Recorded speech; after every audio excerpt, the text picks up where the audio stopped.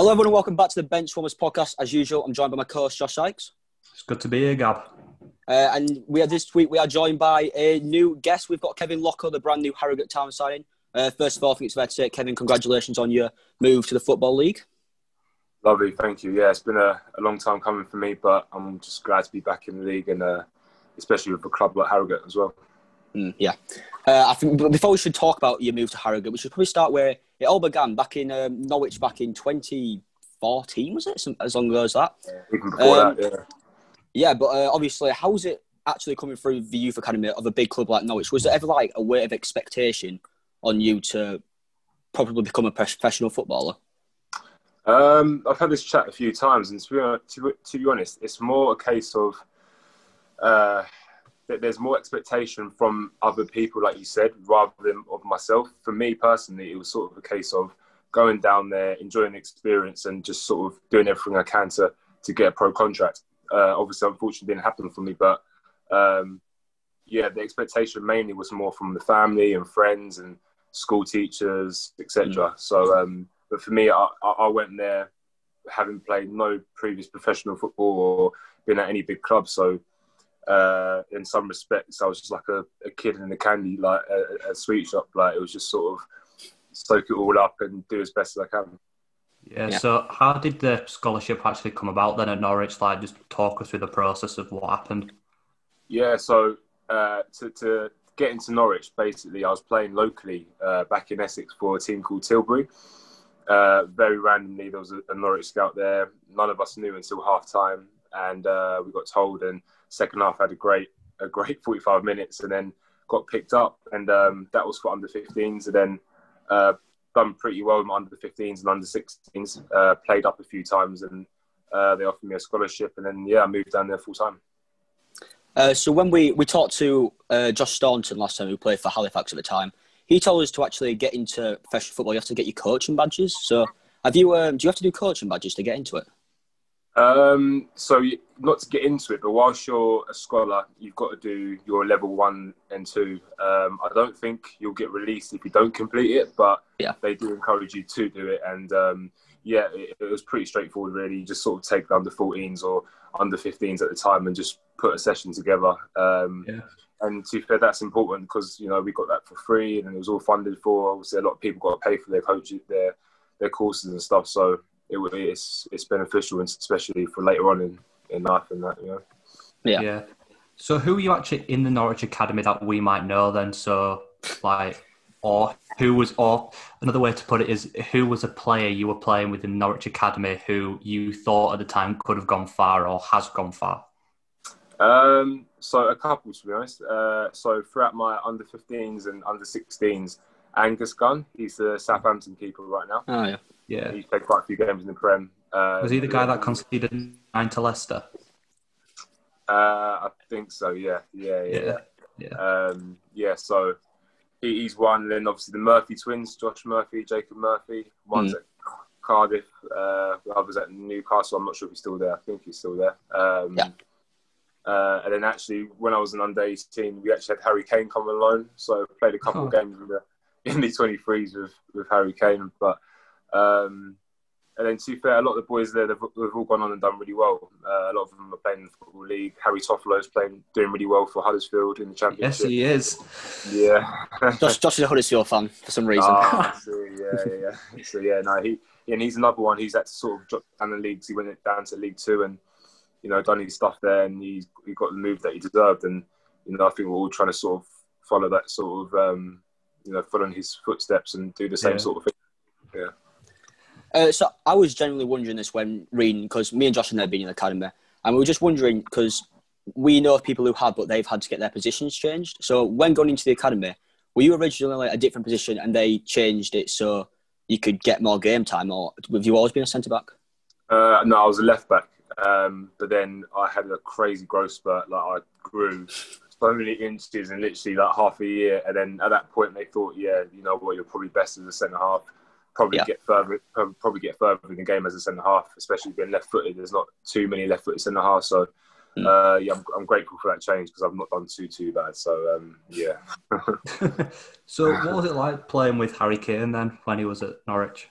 You know what? It was only a couple games, but what I do remember um, was we we weren't overly we didn't really rate him in, in, terms of him going on to do what he's doing now. I mean, yeah. he's a decent player always, but what he's always had and what we did notice back then was his finishing was always been a joke. Like he he'd stay out after after training with the assistant manager and um, he'd have about 20 balls and literally even with the keeper in there there's not one that he'd miss. Like he's either hitting the target or hitting the bottom corner top corner. He's always been like that even from a young age. So um, in that respect i'm not surprised but in terms of now he's quite strong and he's relatively quick and clever um, that that has surprised me to be fair he's mm. done really well mm. yeah. uh, I think looking back as well, uh, obviously winning the youth FA Youth Cup against Chelsea, in 2013, I think it was. Um, yeah. Could you, could you, well, obviously Chelsea known for having one of the better youth sides in England. How much of a challenge was it to actually come against a team like that? Yeah, so I didn't actually. So I was the first year squad at the time. Unfortunately, I didn't really get the playing time I thought I would. Um, you know, obviously they went on and won won the youth cup, which was brilliant. Um, yeah. But the occasion, the occasion itself uh, was unbelievable. Uh, that Chelsea team in the final had a load of star-studded players. You know, Loftus Cheek, I think, was playing. Jeremie Boga, who's been linked with coming back to the Prem. Yeah. Um, lo- loads of top talent, and um, it was a two-legged final. And the, the, the first leg at Carrow Road, that, that, I think that was a sellout. I think you know, 26 or 30 thousand. Oh, sure. Yeah, yeah. Um, they all come to support in Norwich. Like they're all such a, it's such a you know strong fan base, and there's not too much yeah. out in Norwich to do apart from watch football. So uh, even even with the youth team, they yeah they get behind them, and it was a massive experience and a great occasion. Uh, is the second leg? Sec, sorry, is the second leg at Stamford Bridge? Then is that how it works? Yeah, yeah. Second leg was at Stamford Bridge, uh, which was again amazing. Um, and we went on to win there as well. Um, yeah. You know, it was it was yeah, it was crazy. Yeah, we just um, where we, we caused so many problems, like with the Murphy twins and Carlton Morris up front, uh, caused mm. a lot of problems. And yeah, to be fair, we we deserve to to win that. Yeah.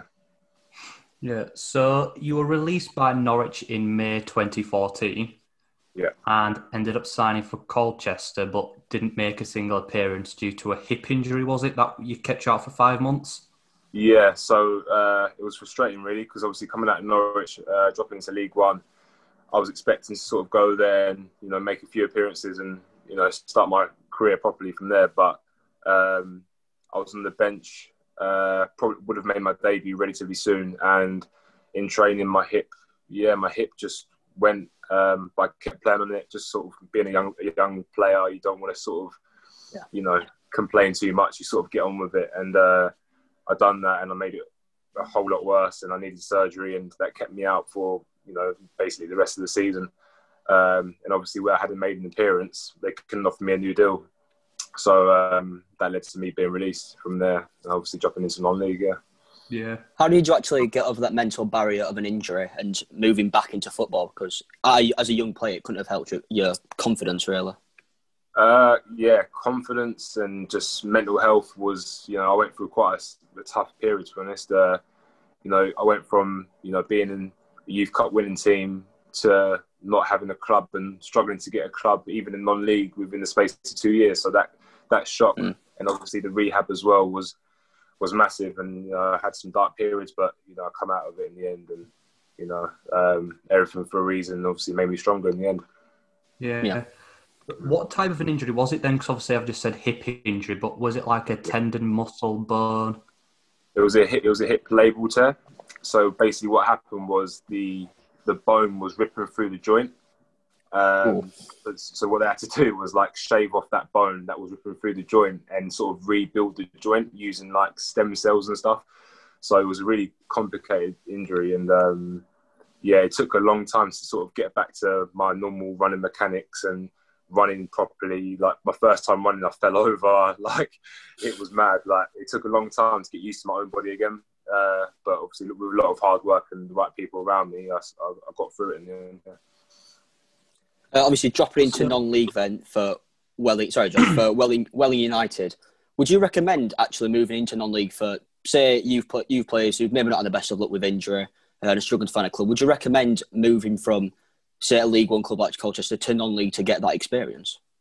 Yeah, I mean, I, what I would say is that if you've got an opportunity to play league football and you feel like you, you know there's a opportunity there for you, then obviously go for it. But yeah, um, if you've been released and you're struggling to find a club and the club are bringing you in to be not even on the bench, just to be a backup sort of player, then don't do it. Just bite the bullet and drop into non-league because mm. I learned so much through that first year at Welling. You know, you learn how to become a man. you play with some good players that you don't realise are good players in non-league, players that have played in the Premier League and Championship, and you learn a lot. so yeah, my my advice for any young player would definitely be just go wherever you can get games, whether that's League Two, League One, National League, Ryman leagues. Like there's, you know, it's not the end of the world. You can really start your career from there, and you've seen the likes of Jamie Vardy and Ethan Pinnock, these sort of players that have yeah. gone on from, you know, non-league, you know, the Dulwich Hamlets, these sort of clubs are now, you know, contesting to get in the Premier League. So it's, it's there and it's it's possible. So that, that's definitely my advice for every young player. Mm. Yeah. So obviously you signed for Welling after a two-game pre-season trial. Yeah. Uh, made your debut in a one 0 win against Guiseley. So how was how was your first game for Welling then? Um, I wasn't meant to start. I, I was actually on the bench, um, but the centre half on the day wasn't feeling great, so I just got thrown in. And I remember like the start of the game, just before the whistle went, I told myself like, Kev, look, if you can't if you can't compete here, if you can't handle this level, um, you know, you then you know, what else you're going to do? I sort of told, I just told myself, look, if you want to get back to where you were before with the Norwiches and those, those sort of clubs, you need to sort of master this level. You need to compete in this level. And from that moment, I just thought, you know what, I'm just going to just attack it and go for it. And played really well, assisted the winner, um, and I was sort of ever present, more nearly ever present ever since. So um, that was a good feeling, even though the season didn't go as planned. But uh, I said before, I've learned so much in that season, uh, purely from the losses that we took and individual errors and stuff. You learn so much. Uh, I've always actually wondered this then. So uh, uh, this is a bit weird, but do you have an agent? Is that how you get trials? Because I always wonder how you players actually get trials at clubs. Yeah. Um, so yeah, you can, you can, go through agents, or for me personally, um, it was sort of a mutual thing. Uh, when I was at Colchester, Magnus Okuonghae, the club captain at the time, he yeah. um, he spoke to Welling and on my behalf, sort of thing, and just said, "Look, um, you know, the manager's called Loui Fazakerley at the time. He was like, he just said, "Look, we've got a player at Colchester. He's, you can't get a club. Can you take him for you know just for a couple of games and see what you think of him?" And that's how I got that's how I got my um, opportunity. But yeah, there's agents okay. as well. Yeah, like now I've got an agent and stuff, and who got me to Harrogate. But um, yeah, you, you, you can. There's loads of different ways you can get trials. Yeah. So your first goal for Welling came against Woking, right. which is the first half header, and it ended a 23 game winless run. Yeah. So what what was your like? How did it feel to score your first goal then? Yeah, um, I remember it really well actually. Just sort of headed in the bottom corner. Um, it was really good. it A really good feeling. It was sort of uh, a confidence booster just to get my first goal in senior football. I was only 19 or 20 at the time, and um, you know, it really sort of obviously to get that to get that result as well, which has really made me feel like look, we can we can do something now. We can sort of climb out of where we were, um, and we did go on a little run throughout the season, but it wasn't enough to stay up. And um, but yeah, like for me personally, to get that goal and to stay in the team for majority of the season, um, you know, it was the best thing that could have happened to me. Yeah. I'm not surprised it was header, to be honest with you. Uh, at the end of at the end of Wellingham, how come? Obviously, I wasn't following Welling in 2016. I, I probably hadn't even heard of them. Um, but how? What happened with you leaving the club? Was it just a mutual disagreement? Uh, agreement, sorry, or was there just better offers on the table?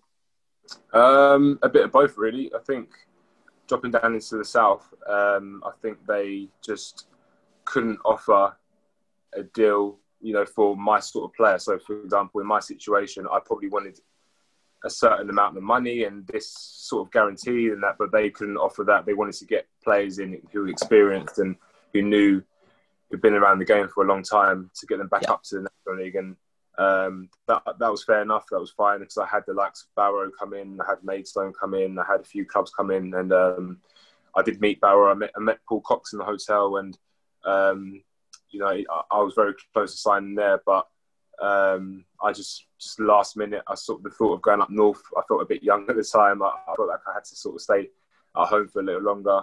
Um, yeah. I, I, pulled up there and I signed for Maidstone in the end. So it all ended up well because I had a great time at Maidstone as well. Hmm. Yeah. So, so on signing for Maidstone, uh, you you said that you were impressed with the three promotions in four years under Jay Saunders. Yeah.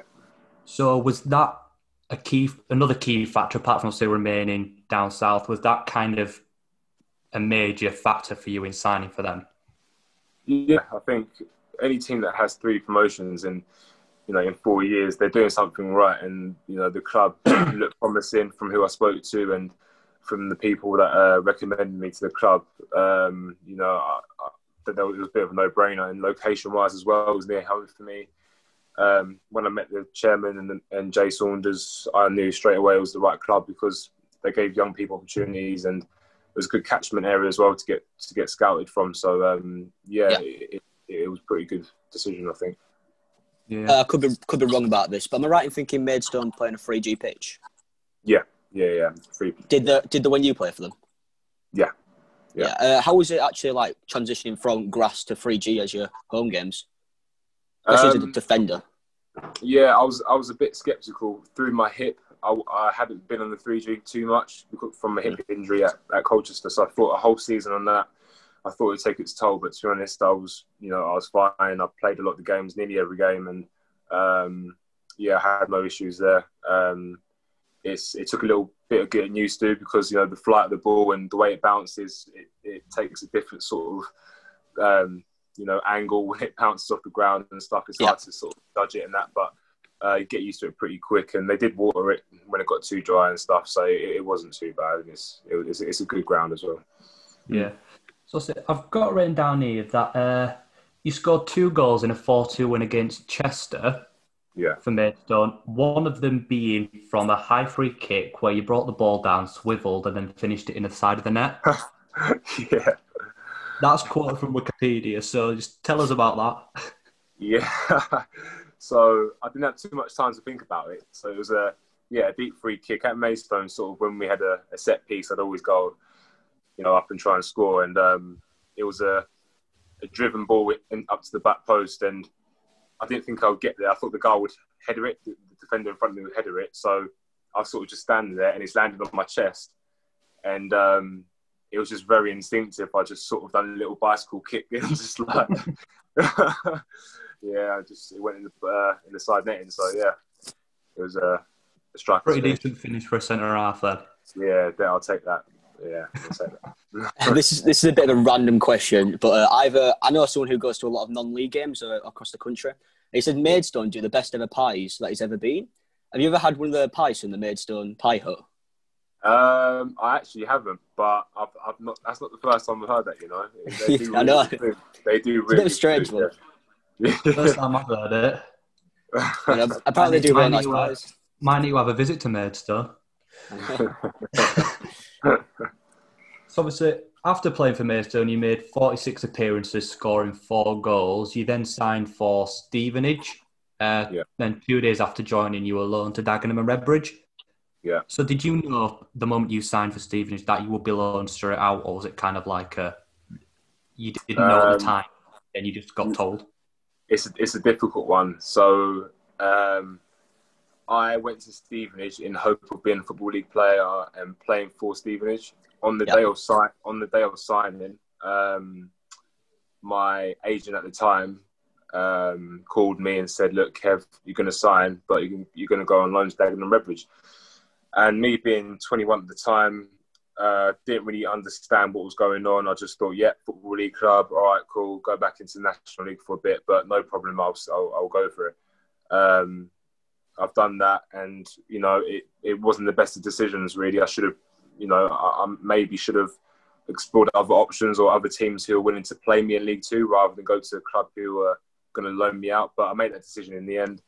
Um, didn't go very well with the Maidstone fans. Um, they, you know, they they thought that maybe I just didn't enjoy it there, and I just wanted to leave the club and sign for Dagenham, which wasn't the case. But um, you know, I, I think I was a bit misled, and um, you know, going back, would I have done that? Probably not. But you know, like I said, everything for a reason, and it has made me stronger. Yeah. Uh, following your move to Dagenham and Redbridge, then uh, on your first game, I believe it was against Barrow, you got uh, man of the match. Did that um, come like? Did that feel really good of you, so having moved there after not? Uh, I don't know to word it, but being sent straight out on loan by Stevenage. Yeah, it, it was always it's, it's wherever club you play for. I think the first game is always important. You've always got to sort of, you know, stamp your mark and and you know show the fans and show your teammates what you're about. And Yeah. uh, lucky, lucky I've done that. Um, yeah, played really well, uh, won the game, and uh, yeah, that set us up for a decent little run um, at Dagenham. Yeah. Yeah. So then, obviously, in February 2018, Stevenage recalled you after 28 appearances for Dagenham and Redbridge. Make, Yeah. Then you made your debut in the 85th minute as a sub against Forest Green Rovers. Yeah. So, how was it then to obviously make your debut for Stevenage in League Two? Um, if I'm being honest, it was it was nice. Like I've always wanted to make my football league debut, but it was quite a bit of a sweet moment because um, I, you know, shortly at that time, I I, I had realised that sort of the club. Stevenage as a club, they weren't keen on me. Like I, I, I could tell, and they just they threw me on as a left back. I'm not a left back, but they threw me on as a left back for for five minutes, um, and I had that in my mind quite a lot of the time. And um, yeah, so it was nice to sort of get my my professional debut and to get my you know football league shirt and stuff. But it it, wasn't the feeling that I wanted making Yeah. my debut in the football league. I should say. Yeah. Obviously, because obviously a week after that, you got loaned out again, but this time to Dover. So, did you know before making your debut for Stevenage that you'd be loaned straight back out again, pretty much? Yeah, I, I, wanted to leave anyway. I wanted to I wanted to leave the club. I wanted to finish the season elsewhere finish on a high. And um, you know, Chris Kinnear at the time he called me and he asked if I wanted to go down there. I said yes straight away, and um, just to try and get him into the playoffs. Uh, so I went down there, played really well. Just missed out on playoffs, I think, on goal difference in the last game. Um, but yeah, yeah, I, I- just wanted to get out the cl- out the club. Really, brutally honest, um, Mm. and just start start fresh somewhere else. Yeah. Uh, how was it working under Chris Kinnear? Because obviously he's a bit of a Dover athletic legend. Um, how was it actually working under him? Yeah, it was good. He's um, he, he- his approach to football was very different. We played in a way that was um, man marking. So I'd have an, a player that I had to mark throughout the whole game, and basically wherever he went, I went. Um, even if it dragged me out into silly areas, I'd just follow my man. So it was a very different way of football, and but it was quite effective because it, it sort of baffled a lot of teams, and they couldn't really suss Yeah. what was going on. But it was good. It was only part time, but um, I really enjoyed it there. It was very, very laid back, and everyone enjoyed their football, and that's what you want. So you want to enjoy your football, and you want to have uh, a good change room and a good atmosphere, and we definitely had that there. Yeah. So obviously then in 2018 you signed for Dover permanently for an undisclosed fee, which turned out to be your most prolific season in front of goal with six goals, which then led to you being named Players Player of the Year. Yeah. Obviously, as a player being recognised by your teammates as being the best player in the team that season, how did that feel? Yeah, it was brilliant. Um, I was sort of a man on the mission that year. I, you know, just coming out of Stevenage and not having the best of times. Yeah, I just, I just needed a good season. I, I wanted to prove a lot of people wrong and just to have a good season. Obviously, Dover, we just about stayed up. Yeah, we we had, didn't have the greatest seasons, but um, me personally, I could be quite happy with how I done. You know, I was ever present. Um, you know, played a lot of games and scored a lot of goals. I got my Vanarama National League Player of the Month award in January, I think, and that was another nice achievement for myself. And then obviously to top it off with top it off with, you know, surviving relegation and um, players player. Um, you know, it meant a lot. You know, the teammates to ha- to have them vote for you for Player of the Season is is always is the best award I think for any player. So I was really grateful for that, and um, you know that that sort of got my confidence back in terms of you know pushing on again. Yeah. Uh, so, like Josh has said, if you're getting six goals in the season, uh, how did that even come about? Is it the man marking making you move up front, or was it just from corners? Um, so basically, I hadn't scored. I, I, only scored one goal with Chris Kinnear in charge, but um, because of our poor start, he got sacked, and uh, Andy Hessenthaler had come in Um, I think it might have been November time. I, I, could be wrong. I'm not too sure. But once he come in, um, he recognised my threat from set pieces, and we worked a lot on set pieces. And um, as long as the delivery is right, nine times out of ten, I'm probably going to hit the target, and i will probably beat my man in the air. Yeah. Uh, and I and I did that, and I scored quite a few goals, and um, yeah, and I was really pleased just to, you know, just just to contribute more up the other end. I always try and sort of put myself in a position where I can score, and done that quite a few times that year. Yeah. Yeah, so obviously you finished that season nine games unbeaten, ended up finishing in 14th. So was that nine game unbeaten run? Did that obviously stem from the fact that you could have been relegated? So you all just mentally just came together and then pushed through to the end of the season. Uh, I think once we survived, uh, you know, I think we sort of enjoyed our football a lot more, and we played with a lot of freedom, and there was no real pressure. And then we re- we just realised then that you know once you do relax and when you do sort of enjoy your football, you you'll still win games. You don't have to be too paranoid and too stressed out and too you just need to enjoy your football like whatever yeah. level you're playing at just to keep enjoying it and play with freedom and play with a smile on your face which we did and we still won games. And I think you know um, a lot of people can take a lot from that because there's no point stressing out over things you can't control. Everything you can control is doing 100% and um, you know as long as you're enjoying that as well then then you're gonna you're gonna do well. Yeah.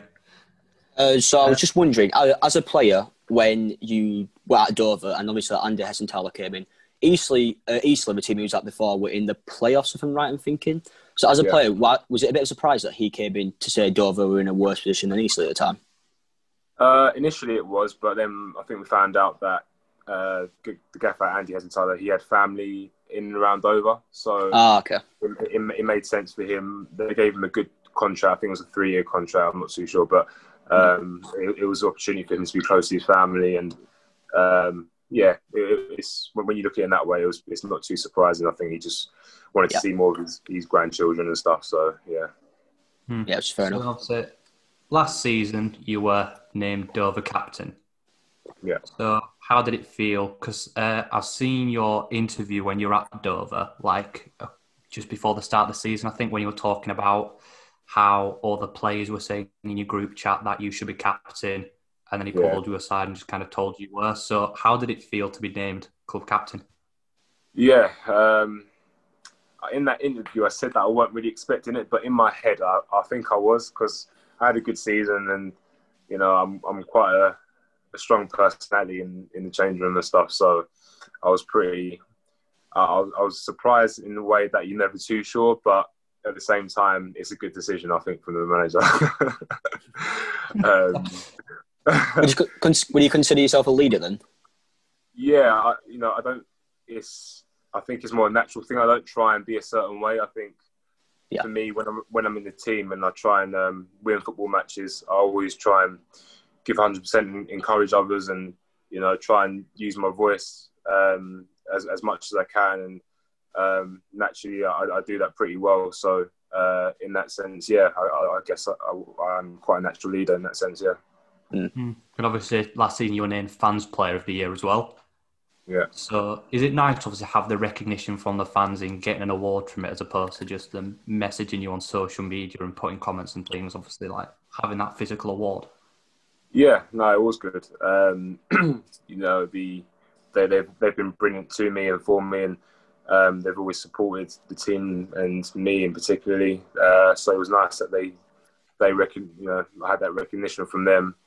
Um, and yeah, it's, it's, it's always nice to get an award and um, to get from the fans and from the players from the season before. It, it's it's been a good couple of years there. Yeah. Uh, are you going to miss Dover Athletic then? Well, obviously not miss because you're getting a big move up, but uh, yeah. the fan base and well, obviously, I'm predicting you moving away from your family because you've played down south for most of your career. Yeah, um, yeah, there'll be aspects that I do miss, but um, I think I spent a good amount of time there, and I've got no regrets from my time there. Um, so for me, it's just a chapter closed and a new chapter now, and, um, mm. and you know I haven't looked back since. I'm just excited to get going for Harrogate and to to play well, and hopefully this this team can do exactly what they done last year, just to keep cracking on, keep pushing on, and you know, not settle for the bare minimum, and I'm excited for that. Yeah. So obviously, speaking of Harrogate, how did the move come about then? Um, so my agent messaged me saying that they were interested. Um, they had a few options, I think. So it took a little, a little longer than I thought it'd be, but um, I stayed patient because I had other op- uh, offers in the National League and a couple interested in league football as well. But the, the thought of Harrogate just coming up into the football league, uh, you know, having this played against them the season before, looking at the setup and the, the fan base and even the area as well, you know, it's um, it all sort of ticked a lot, a lot of boxes, and um, so I stayed patient. Um, I got myself a job whilst I was waiting, and you know, just just to, to keep myself busy and get some money in. Um, you know, thankfully that paid off, and I didn't rush into signing for another club because then Harrogate, you know, they, they came in and they liked what they saw from watching my videos and from when we played against them last season. And uh, yeah, I'm grateful I waited because you know it's it's, it's a great move for me. Yeah. So what job did you get then? I was I was driving vans for Amazon. Um, yeah, yeah. I was I was doing that for about a good six weeks to nearly two months, and yeah, I, I, I, had to find a way just to to work and you know pay the bills and stuff, and I, I was doing that, and you know it was very eye opening. I've not really worked properly for well ever really, again apart from a bit of coaching, so it was um, a different experience, but it's it's another thing to add to you know, add to things I've done, I guess, and yeah. you know, um, it, it, was good at the time. Yeah. Uh, have you have you had a chance to meet Simon Weaver then? Oh, is it yeah. still because yeah. Yeah, Sorry. yeah, yeah, yeah. No, we had we had training this morning, and you know, I've met the gaffer and met with the boys, and it's been brilliant. Um, these team like the, the team is very fit. Obviously, having come off the playoffs and stuff, they've been training for a while, and um, you know, it's it's really good to see how how fit the lads are, and because I think especially in League Two, the fitter teams usually do pretty well, and um, yeah, I'm just excited for the season to start now. Yeah, everyone's been brilliant from on and off the pitch. I guess like the the backroom staff have all been very friendly, and the gaffer, the coaches, they, they've all been brilliant to me, and um, you know, I just just can't wait to get the preseason games underway now. Yeah. I've got a I've got a newspaper article here with an interview from Weaver's number two. Okay. So he's describing you as being a strong, powerful lad uh, with a great range of passing and being good in possession. So, would you would you agree?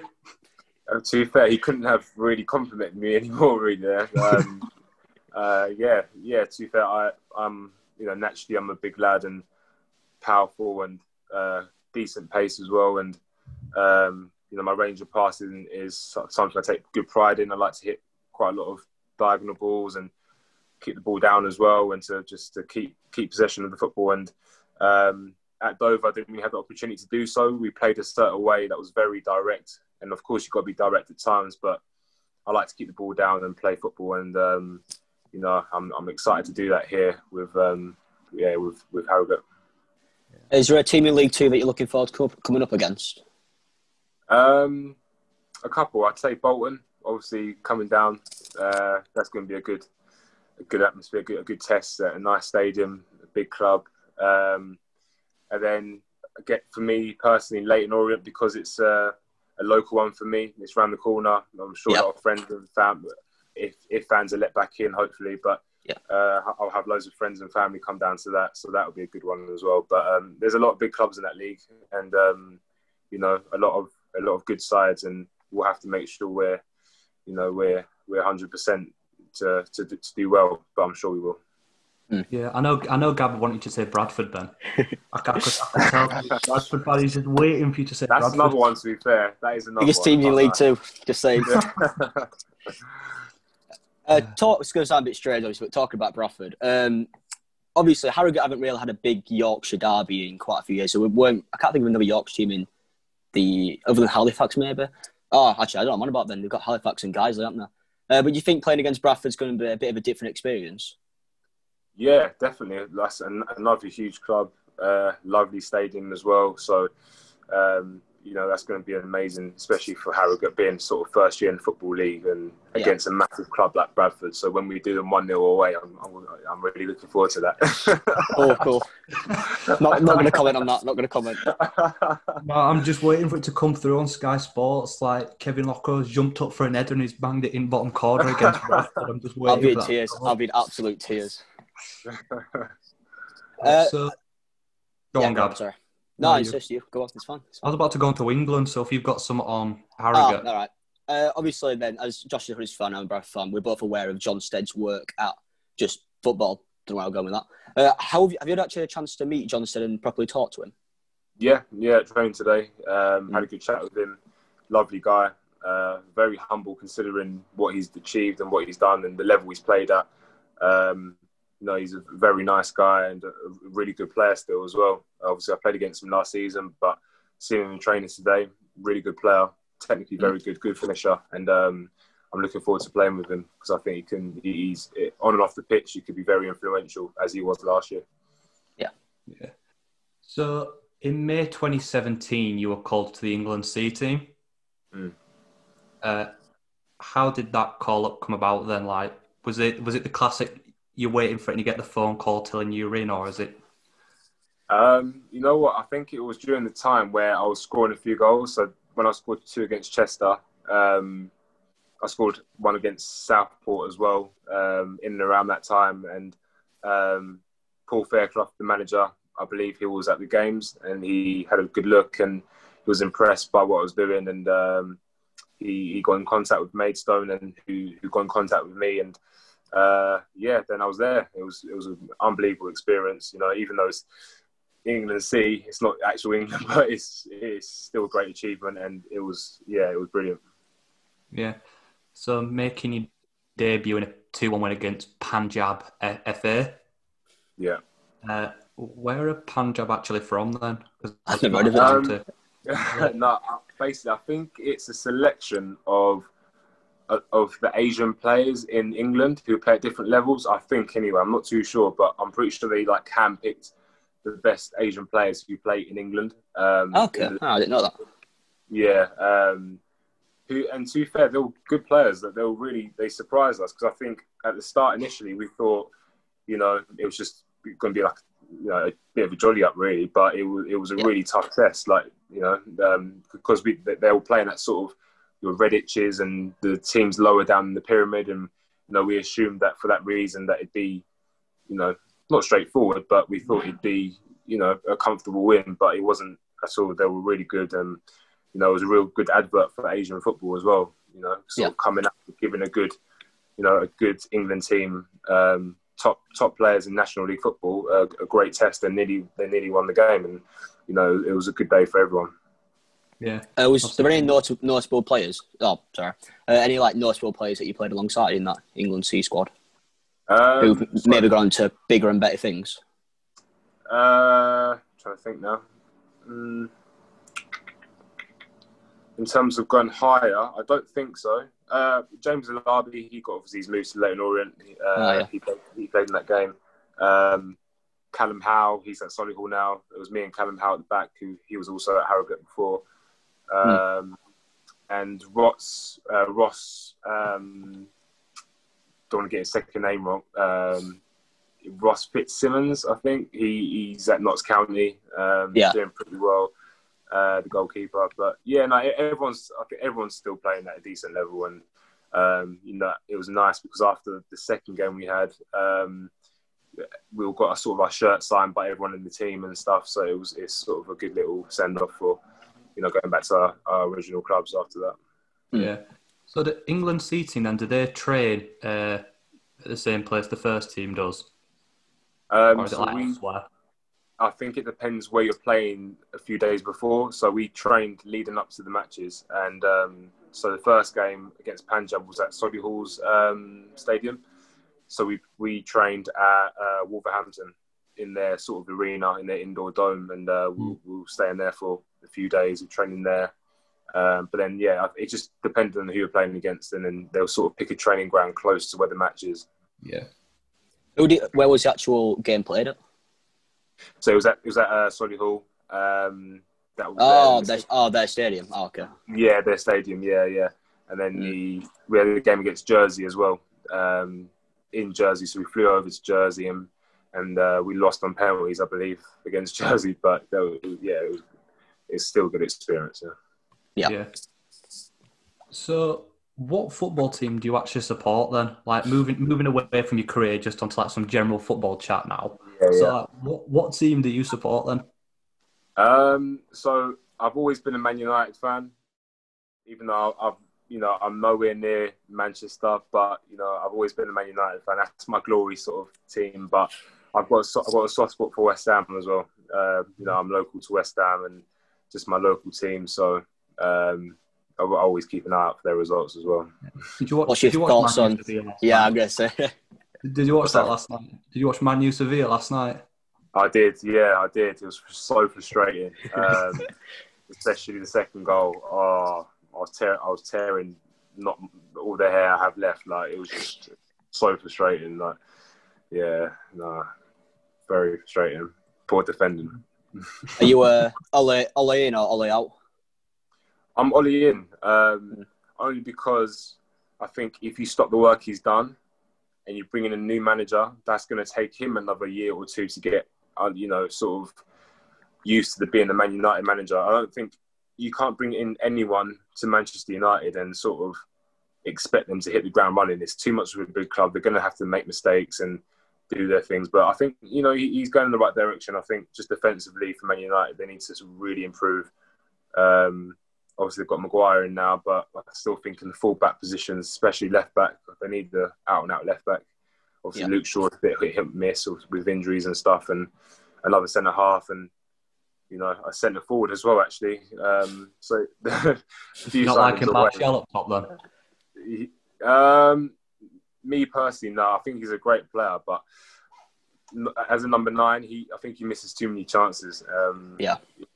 For me personally, anyway, I think he, he's got to sort of be more ruthless in front of goal. You need like a Harry Kane for me. I think you need, you Yeah. need someone who's guaranteed to put the ball in the goal if they got a chance. Uh, That's what they need. I Mm. think. Uh, sorry, we'll keep doing this. Do you wanna? Do you wanna? It's, it's you. Go, go. All for right. it. Um, so, uh, continuing on with just random football then. Uh, in terms of having played quite a lot of non-league football yourself, are you agreeing with the hashtag let fans, I think it's hashtag let fans in or let fans back in campaign, where, because obviously at non-league, there's, there's not massive fan bases. It's not really going to be too close together and risking the coronavirus and a second spike. So do, are you actually supporting the campaign or do you think it might be a bit too early to let the fans back in? No, I'm definitely supporting it. I think if it's too early, then there wouldn't be people watching the snooker. People sitting indoors watching the the snooker. Mm. Um, you know, there's a lot of people in there, and that's indoors as well. You know, and I think if you go down to the lower league level, um, it's, it's so easy to sort of if there's a thousand people, or not even a thousand people, a lot less than that, 500 people at a game it's you know it's a, a big old pitch and you're outside and i'm sure there's ways you can sort of social distance and Yeah, uh, the fact the fact that you can go to restaurants and bars and you know I, I went for dinner last week in uh, back in East London in Shoreditch and um, you know it was absolutely rammed. People everywhere there was no one no one sort of marshalling that. So if you can do that stuff then football which people know and love and take good pride in watching their matches I think that's surely they, they should be able to let fans in. I'm hoping that hashtag and hoping that the the movement sort of encourages the higher people to to let fans in. Yeah, Yeah, because obviously they're also on about doing that quarter capacity. So I, I think they started doing it in France. I remember Paris Saint Germain friendlies before they've come back into the Champions League. They had like 5,000 fans watching, just everyone social distancing. Do you think that's some of that would be good to be implemented into England, possibly? Yeah, I think it's a case of um, there's no harm in trying. I guess if it doesn't go well, or they, you know, fans are sort of not obeying the rules and they're they're acting silly and stuff, then you can then you've got every reason to sort of go back on what you've you know implemented. I, I, I think just not doing anything right now is probably the worst thing. I think if you take steps and you know, I think I think now we must be ready to introduce some fans. Um, and yeah, like like they're doing the twenty five percent capacity. Um, you know, I think that's a good idea, especially to start off with, and you know, Yeah. and just hope that just hope that the fans are you know abiding by the rules and and doing the right things. Yeah. Yeah, it's a bit unfortunate time for Harrogate having come into the Football League and not going to have the proper backing of their supporters, obviously. Um, the way I think it's, I'm not 100% sure because it's a bit complicated, but the way Bradford are doing it is where they let a certain capacity, it might be 5,000, might be a bit more than that, I don't know, a certain amount of fans in for one game, and then the next home game after that, they let the fans who didn't get in for that game into that game, and they keep going back and forth. As have you, and obviously, this isn't your thing to say, but uh, are you aware of anything that could be happening at Harrogate to let fans back in? Um, not uh, right now, not really. No, I'm not too sure. Um, obviously, they got they're getting this their stadium. Uh, we're getting our stadium sort of uh, yeah. ripped up at the moment anyway. Uh, so we're playing at Doncaster. Um, yeah, I'm not aware of anything yet. I've not heard nothing. Um, there's obviously rumours of this, that, and everything, but there, there's no real, there's no real, you know, timeline. I think in terms of yeah. when we'll be able to see the fans, and it's a shame because especially as a new player, you want to sort of play the first game and play in front of the fans, and you know, make a good impression and stuff, and meet everyone. But unfortunately, life happens, and we, we've just got to sort of hope that it gets back on track soon.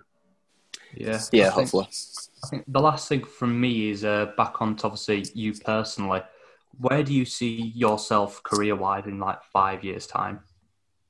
Um, so I try not to look ahead too much, but for me, I, have got huge ambitions for myself. Um, I I can't get somewhere and just be happy with what I'm doing, and even if I'm doing well, I can't. I'm never satisfied. So ideally, you know, to do well with Harrogate and to to push Harrogate and to hopefully gain promotions within that within that timeline.